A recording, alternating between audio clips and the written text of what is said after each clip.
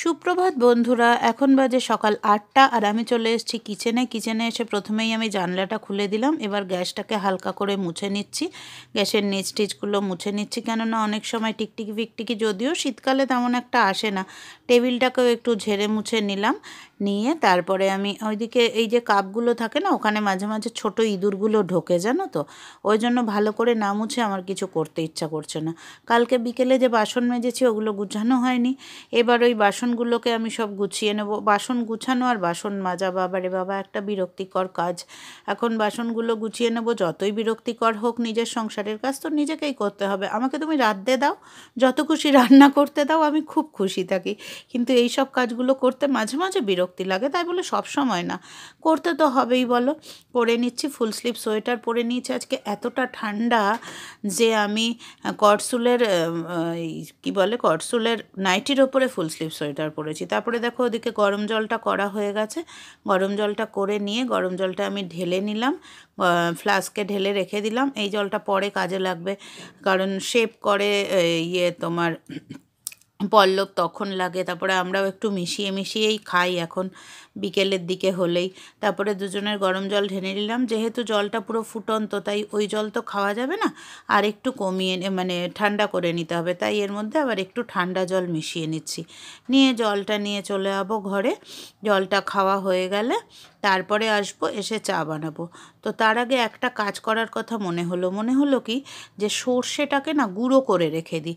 গুঁড়ো করে রেখে দিলে কি হয়? চট করে রান্নার সময় অসুবিধা হয় না। আর আমি না সাদা আর কালো সর্ষে একসাথে মিশিয়ে রাখি। দুটোই সমপরিমাণে নিয়ে একসাথে মিশিয়ে রেখেছি। এবার ওটাকে গুঁড়ো করে রেখে দিচ্ছি। গুঁড়ো করে একটা কৌটোতে ভরে তারপরে ওটাকে আমি ফ্রিজে তুলে রেখে দেবো।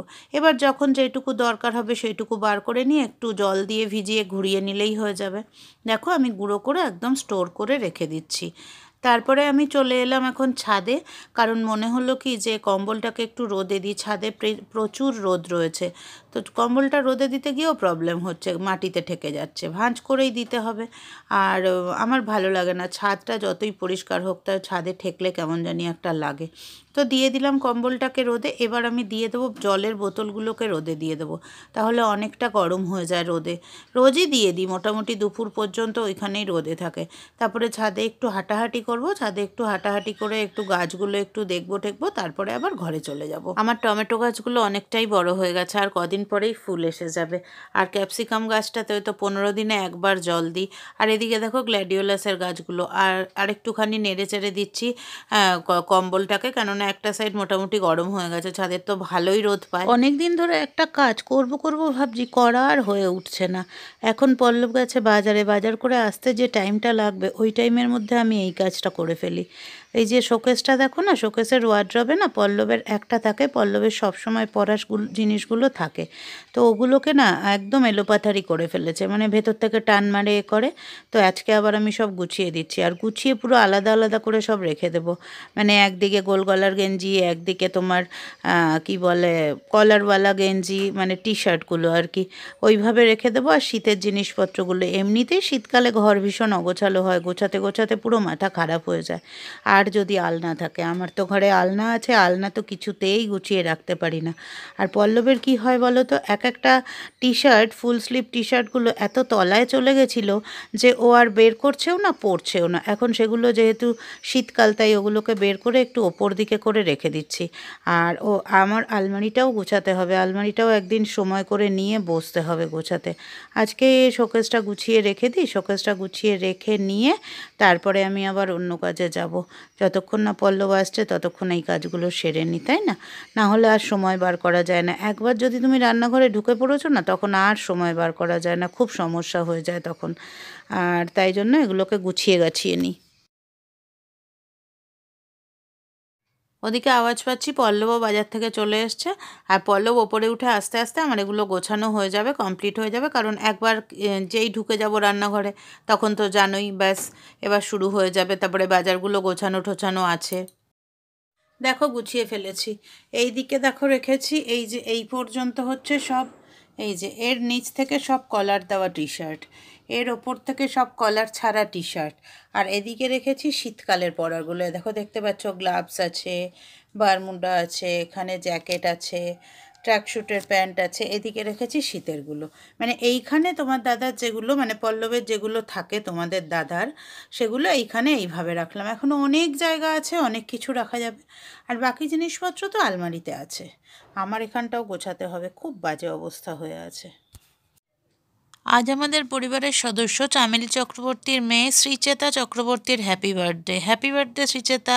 অনেক অনেক ভালোবাসা তোমার জন্য আমাদের পরিবারের তরফ থেকে। আশা করি ভালো আছো, জীবনে মানুষের মতো মানুষ হও। আর সব কিছু যেন তোমার পজিটিভ হয়। আর সবসময় মুখে হাসিটা রেখো। আর অবশ্যই বাবা মাকে সাথ দিও। এইটুকুই বললাম। Many many happy returns of the day আবার বলছি, অনেক ভালোবাসা। আর প্রে অবশ্যই করব তোমার জন্য। ভগবানের কাছে ভালো থেকো। আর মানুষের মতো মানুষ হয়েও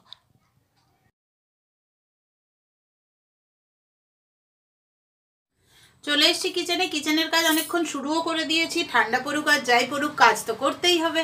এগুলো তো না করলে চলবে না। হাতাটা গুটিয়ে নিয়েছিলাম যে যে ধোয়াধুয়ি করছিলাম ওই জন্য। এদিকে দেখো ভাত এক ফুট হয়ে গেছে। আর কি কি রান্না করব আজকে আমি দেখাচ্ছি তোমাদের। মূলো শাক ভাজা করব। এটা হচ্ছে আমাদের জন্য। হোম ডেলিভারির নয়। এখানে আছে ডালটা সেদ্ধ করা, এটা হবে হোম ডেলিভারির ডাল। আগের দিন ওদেরকে বকফুল ভাজা দেওয়া হয়নি, আজকে ওদের জন্য আছে বকফুল ভাজা। করব পালং শাকের একটা ঘন্ট, পালং শাক মূলো টুলো দিয়ে, এই যে। এর মধ্যে মূলো, শিম, বেগুন, আলু, কুমড়ো সব কেটে নেওয়া আছে। আর যেটা হবে সেটা হলো তপসে মাছ। তপসে মাছটা সর্ষে দিয়ে করব। সর্ষেটাও আমি বেটে নিয়েছি। সর্ষের মধ্যে দিয়েছি, আমি সাদা কালো সর্ষে মিশিয়ে বাটি, তাহলে তিতো হওয়ার চান্স একেবারেই থাকে না।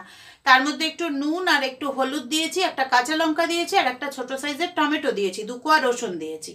এই দিয়ে আমি বেটে নিয়েছি সর্ষেটা। তো চলো আগে মাছগুলো ভেজে নিই, তারপরে আমি রান্নাটা স্টার্ট করব।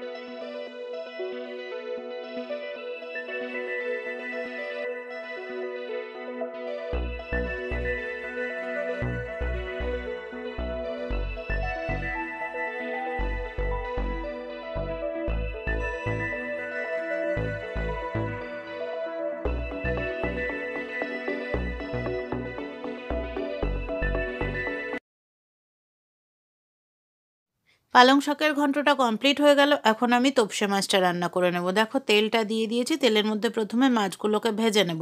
মাছটা আমি অনেক আগেই নুন, হলুদ মাখিয়ে রেখেছিলাম ধুয়ে ঠুয়ে নিয়ে। তো একটু বেশি সময় মেখে রাখলে কি হয়, নুনটা ভেতরে ঢুকে যায় মাছের।